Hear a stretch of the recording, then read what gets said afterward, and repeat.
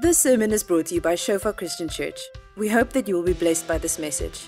Our audio and video sermons are also available on Shofar TV to download and share.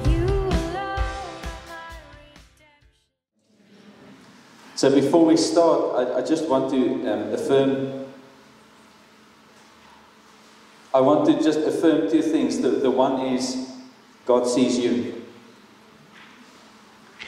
He sees you and He loves you. God sees you and He loves. He's not holding back. Um, on the 28th of April, we, we started on a very specific journey on walking with God. And um, if you want to see the overview again of, of where all of this started, then, then that, that was the day. But since then, we've been speaking about so many different aspects of walking with God.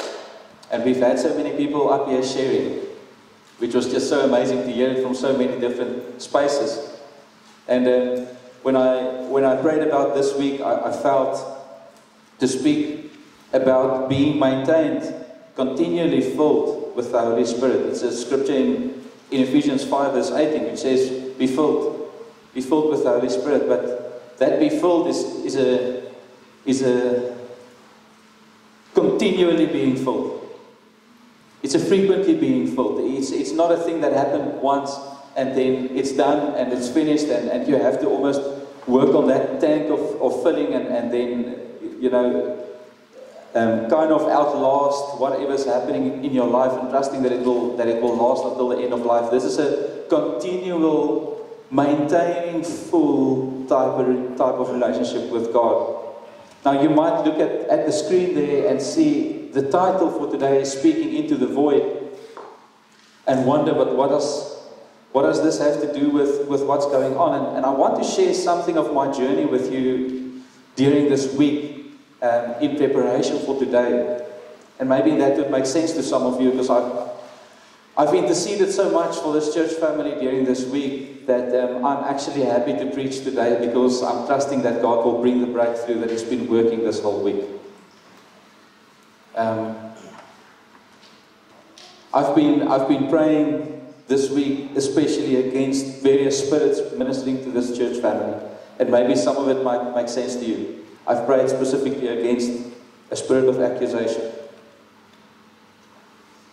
With everyone I spoke to during this week, at some or other stage, some people said, I feel so accused, I feel I'm not worthy, I feel I'm not good enough, I feel I'm not making it, I feel I should be better, I feel I should know more, I feel I should be more equipped, I feel I should be more aligned with God by this stage, and just so many accusations happening.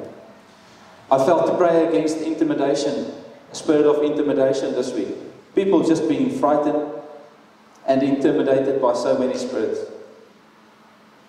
And when we think about this concept of ministering um, Jesus towards someone, there's a moment normally where you feel, Will I know what to say?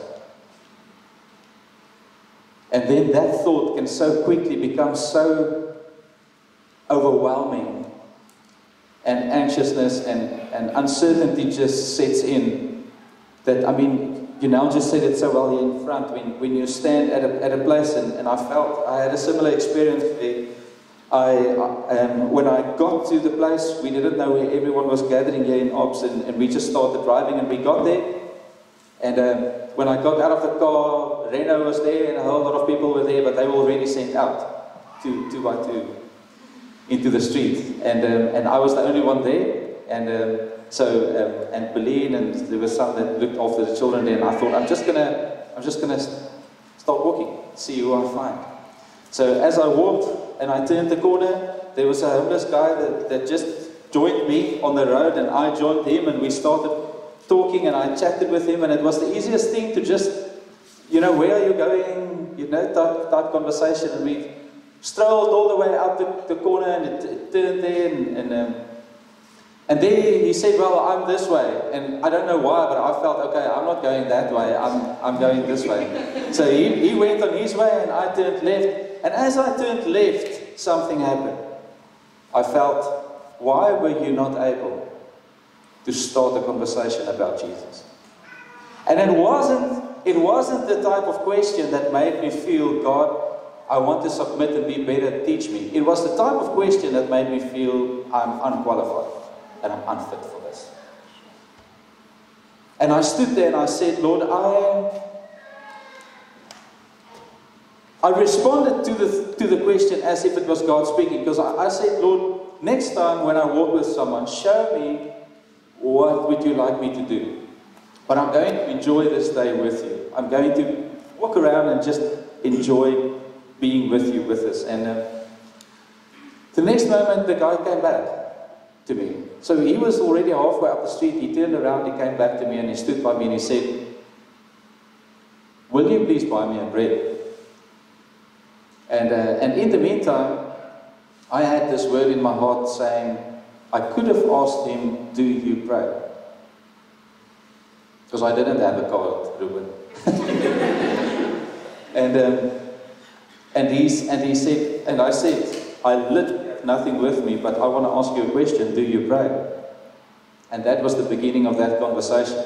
And why I'm sharing this with you is whenever we are in a space where we are busy walking with God, there comes a point in time where some spirits start ministering something. And if you are not attentive, there's a very real threat to your walking with God. And it shakes you to a halt. Now, Normally, there's, there's a few extremes when we think about following God. We are either very actively following Him, quiet times going well, prayer life's going well, relationships are going well, you, even in those relationships that you feel are not going so well, you, you sense a peace. There's something of a God empowering that happens. But then there's times where you feel I'm passive, I'm complacent, something is not right. I don't sense and I don't feel the Holy Spirit working with me aligned with this thing. This void that we are speaking into is that void exactly between those two thoughts. Because when we are either walking actively following God, that's one thing, or when we are being accused and we are dealing with emotions, that's one thing. But there's normally a moment in time when we are confronted by something or someone or some spirit. And this morning we want to speak into that. That's why we are speaking into a void this morning. And we are trusting our Father to teach us what do we do when we are sitting in that space where we are experiencing that void. What do we do? Now the interesting, the interesting thing is I, I felt I felt the Holy Spirit lead me to the original attack. So I want you to, if you have your Bible with you, please open at Genesis 3.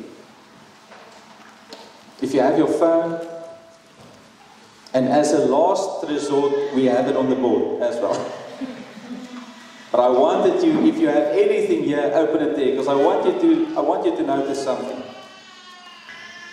Are you guys there? Will you just wave at me if you found it? If, if there's someone that's battling, will you also wave? And someone next to you can help you? Okay, are we ready? Okay, let's read. Now the serpent was more crafty than any other beast of the field that the Lord God has made. He said to the woman, Did God actually say, You shall not eat of any tree in the garden? And the woman said to the serpent, We may eat of the fruit of the trees in the garden.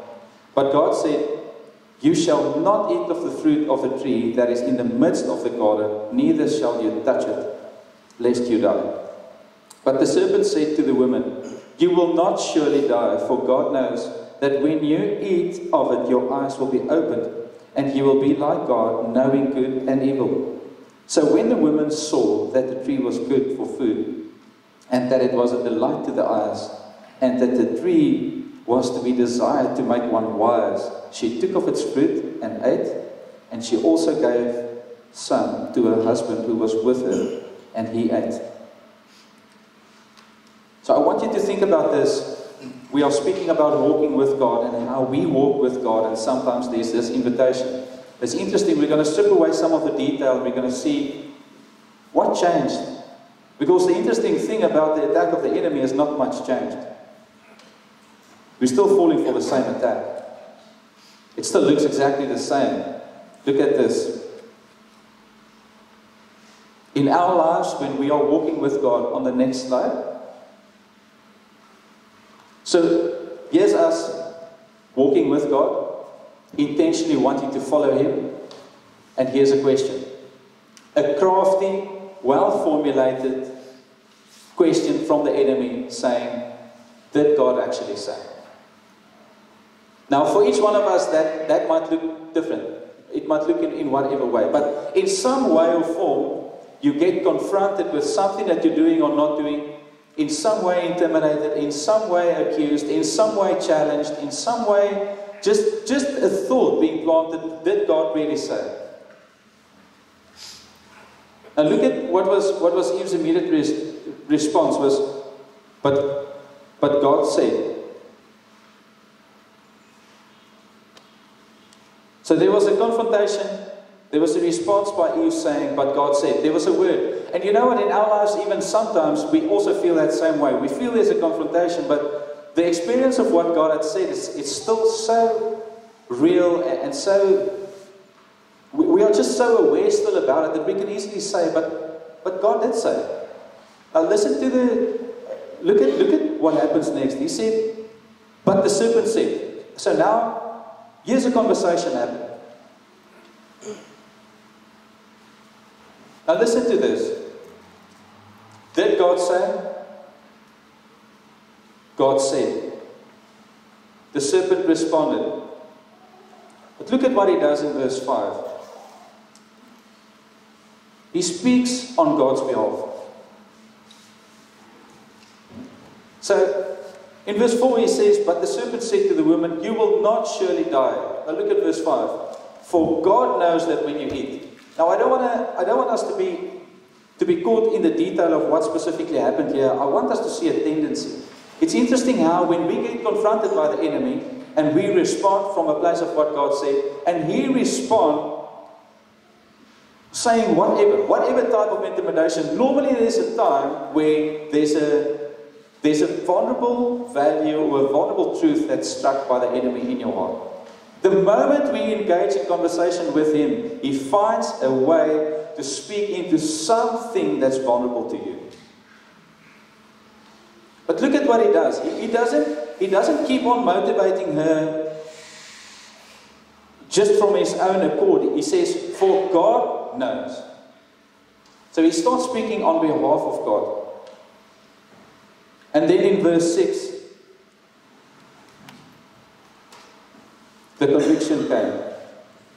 The woman saw, she took its fruit, and then she didn't only were convinced, but she responded. She also started sharing.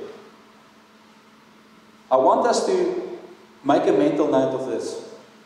Because in our own lives, when we get confronted by the enemy, for us to understand his strategy makes a lot of sense. Because the moments when you are in your car driving, when you are sitting behind your computer, when you are sitting late at night, when you're sitting early mornings, when you're sitting wherever, normally there's a time where there's a confrontation. You respond with something you've heard at some stage.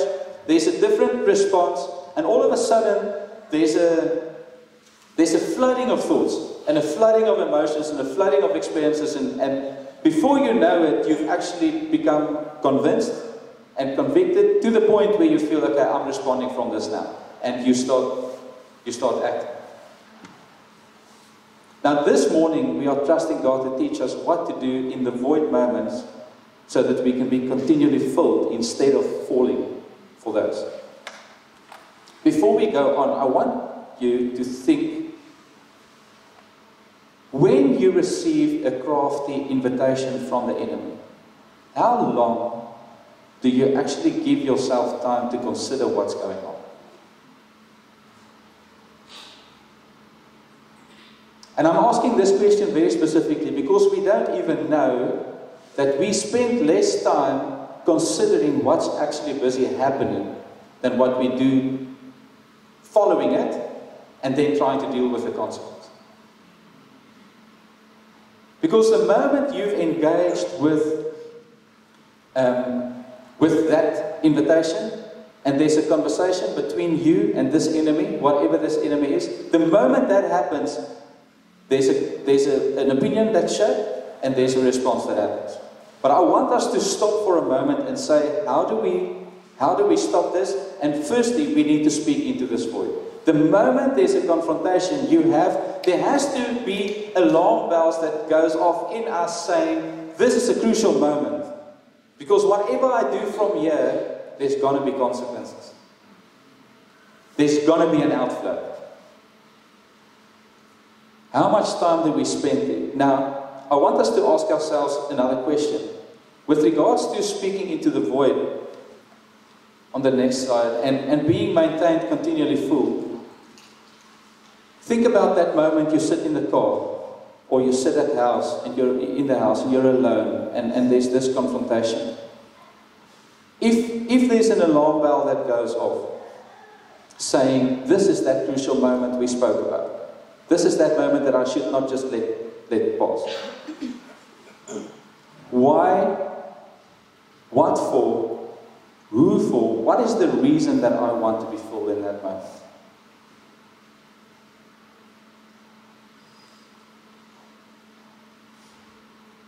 It's an, it's an extremely important question to ask yourself because in that moment there's a tension, and that tension almost forces you into a decision. But I want us to, as we consider that moment, just stand still for a moment, and we're going to go to our primary scripture today. It's in Ephesians 5. Those of you that want to join me there in your, in your Bibles, you're more than welcome to, to go there. Ephesians 5 verse 15. Are we there? Okay, you guys are now very deep in thought, and I know it's of, my, my responsibility, my thing that I invited you to, to, to think hard. I'm, I'm thankful that you do. But stay with me. Ephesians 5, verse 15. It says, Look carefully then how you walk, not as unwise, but as wise making the best use of the time, because the days are evil. Therefore, do not be foolish, but understand what the will of the Lord is. And do not get drunk with wine, for that is debauchery. But be filled with the Spirit, addressing one another in psalms and hymns and spiritual songs, singing and making melody to the Lord with your heart giving thanks always and for everything to God the Father in the name of our Lord Jesus Christ, submitting to one another out of reverence for Christ. So I want us to think about what we just read in Genesis and how the enemy attacks us. And I want us to think about Ephesians 5, verse 15, saying, Look carefully then how you walk, not as unwise, but as wise. In that specific moment, when those alarm bells goes off thinking this is a crucial time, I have to think this is the time when I need to think how I'm going to walk. Am I going to walk like someone wise or am I going to walk like someone unwise? The first statement we find is in verse 16. Make the best use of the time. Make the best use of the time. We're going to come to the practical part of this now. I just want us to see a few key points and then we can take it from there. Make the best use of the time. The second thing we see here in verse 17 is therefore do not be foolish, but understand what the will of the Lord is. Understand the will of our Father. The third thing we find in this piece of scripture is be, be filled. Be not drunk with wine, but be filled with the Spirit. Be continually filled. In verse 19, we see there's an addressing that happens. Addressing one another in psalms, hymns, and spiritual songs. Singing and making melody to the Lord with your heart. Now, from a place of being filled by the Holy Spirit, when we think about this concept of addressing, it will either be someone or something. Within the context of you being in a space where you are being attacked by the enemy, to address him is what we are speaking about here. Address it. Address the person, address him. Then, lastly, giving thanks always and for everything. This speaks about our heart posture. To God the Father, in the name of our Lord Jesus Christ. Be thankful to our Father. Now, practically, I want us to speak about the how.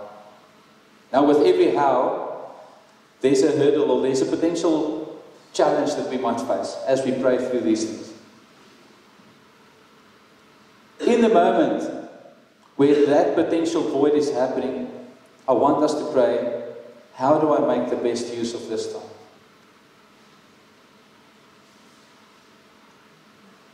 What is the alternative? The alternative is that I'm in the moment not intentional about the decision that I'm making.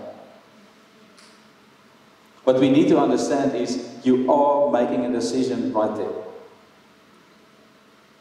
Whether you know what decision you're making or not, it's going to be up to you. If you're going to be intentional about discerning what, how, I, how do I make the best use of this time, then this decision might be aligned with what God said. But if I don't, I'm not going to be intentional about the decision that I'm making. The second one is, Father, what is your perspective and your will? We pray that. Right in that moment, Father, what is your will? What is your perspective? What do you see while I'm in this experience where I'm busy being confronted? What is the alternative?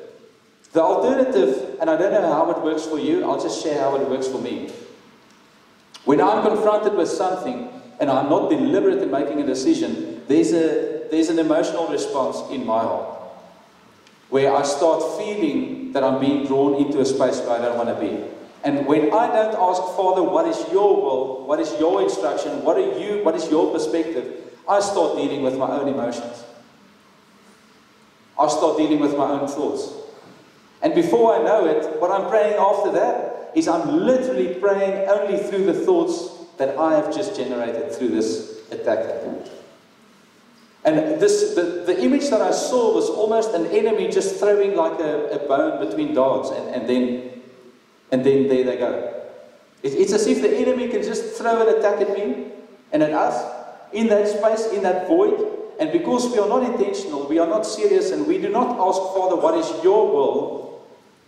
We get caught up in our own emotions. And from there, we start to try and pray through the one after the next emotion and challenge that we are experiencing. And that thing doesn't resolve. It, it's like a bottomless pit. It, it's like if you do not stop that cycle, that will keep you busy. And I know, because this is something that I felt in my heart specifically for this morning, that there are many of us this morning that is extremely fatigued because of this cycle that's been running in us. Not only for this week, but for quite a while now. Listen, the enemy is not even there anymore. He threw that on you, and you took care of that on your own. He left, and he can go attack someone else. We need to stop the cycle by not being so attentive and so focused on dealing with our emotions, simply saying, Father, what is your will? You speak. Speak.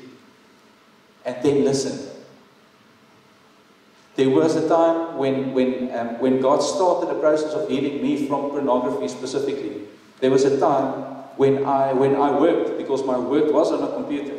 So, and, and because it was in a, in, in a time when, when we, um, we had a family business, we were working from home at a, at a point, and there was a time when I sat with my hands on the table, literally like this.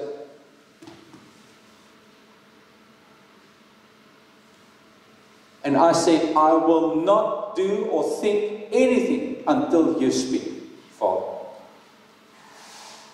Because the attack and the and the, the, the um, confrontation was so tailored that my emotions just wanted to spin.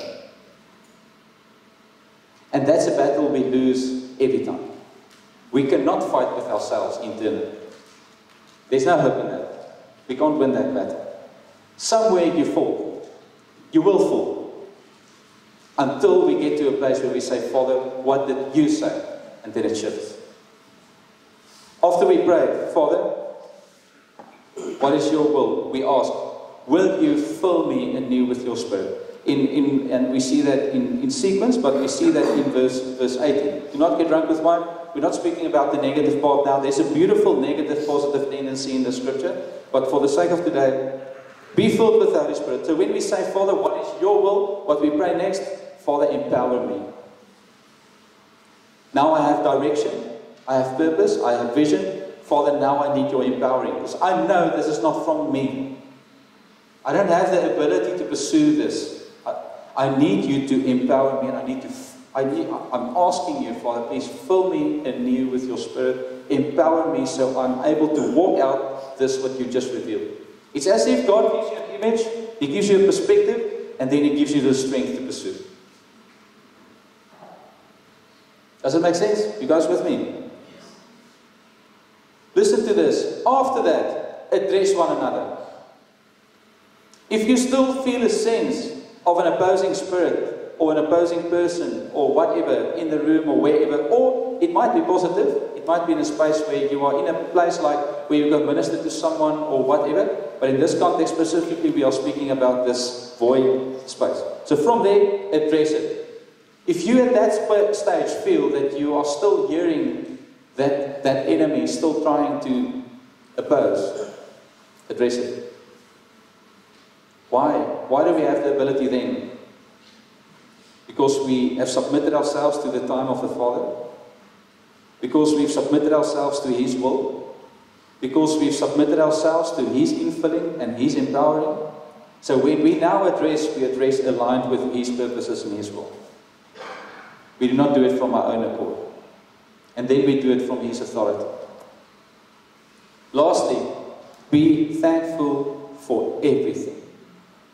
Everything. Because everything that you just went through started to stir something in you that made you more like Him.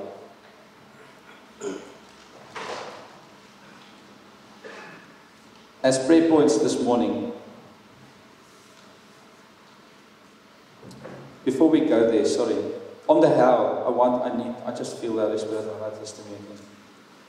With regards to addressing those around you, if you do not address those around you from those places that we've just set up, you are a victim and a hostage of it. If you are not the one addressing, you are being addressed. If you do not address, you are the hostage. Again, listen carefully. I'm not saying from your own accord, from your own thoughts, from your own emotions, from whatever we've now said. I'm confronted I'm listening to what I'm confronted about. I'm submitting myself. Father, how do I make the best use of this time? How do I submit myself under your will? Father, please fill me and empower me with the Holy Spirit so that I can speak and start speaking. If it's confession, confess. If it's forgiveness, forgive, whatever that looks like. And then lastly, be thankful. Be thankful towards the Father because He knows you. He knows what you need. He knows where you are at. He knows what you are going through. He knows what He's busy doing. He is the author. He is the king. He is the ruler. And this morning, I want us to pray. I want us to pray through this. But the first question we need to ask ourselves is Am, am I really walking with God? And for some of us here, there's not been a time yet where you actually felt, I, I've made a deliberate decision to follow God. And if that is you, please come pray with us afterwards. Don't let this time go by. Secondly, I want us to pray, Father, how do I make the best use of the time? I actually, when I made the notes, I wrote my time how do I make them? How do I make the most the best use of my time. And I, I just, I just, after I wrote all the notes, I felt that something is still not right, and I went back and then I said, It's not my time. It says that time. It's not your time. It's his time. This is not my life, this is his life. There's, there's a posture in our hearts that God wants to communicate to us saying, I know you are going to go through hardships and it's going to be extremely confronting. But pray through this. How do I make the best use of the time? Father, what is your perspective and your will? Ask to be filled anew with the Holy Spirit and address those around you. Whether that's a spirit, whether that's a person, or whether that's someone that's, that you are ministering unto. It, it can be whatever, whatever type, but start speaking from the filling of the Holy Spirit, from His empowering. And then lastly, be thankful towards the Father. Now it's interesting when I prayed through this personally, um, and and this is this is I don't know. It's special to see it like that. But um, when you are sitting in your car, or when you are driving somewhere, or when you are being confronted by someone, I can give you my word from my perspective. This is not the first six things that's going to come up in your mind. Because when we are confronted, we are normally confronted with something that's very real to us and very dear to us. And because it's crafty, remember, the enemy is not throwing 60 um, confrontational thoughts out. It's very crafty. It's as, it's as if he has good perspective on what it is that will get you to not, your first thought is not going to be, how do I submit to God better in this? Your first thought is going to be, how do I manage or how am I going to stand against this or whatever? And then we've set up all these very interesting frameworks and stuff around us, like whenever this happens, then I call that person, or then I call that person, or then I just get out of the room, or I just get, and there's a place for that. Listen, fleeing, fleeing from temptation or whatever, there's a space. But sometimes, and I believe, especially today, God wants to set us free from specific things very personally. So for me, when that was the one thing that stood out, the, the time thing, but then the, the thing that I got 2.4 fairly easily as I now work through this sermon, but then to address to address the things around you, whether it's a person, whether it's a spirit, whether it's whatever, that's that's a different that's a different experience. But from the guidance of the Holy Spirit, that's possible. So I want you to look at those six things, and we're going to briefly consider, Father, what, what do we pray through this morning? Where am I at with regards to how the enemy strategy is currently functioning in my life? Where am I at? Because I can tell you this if we do not conquer with Him the first three points, and I need you to listen very carefully to me now. If we do not conquer with Him the first three points, we will be partnering with a different spirit. Are you with me? That's very serious. If we do not get it right to submit and yield our perspective and our will to the Father, we are going to seek for an empowering to do something, but we will seek for empowering from a different spirit.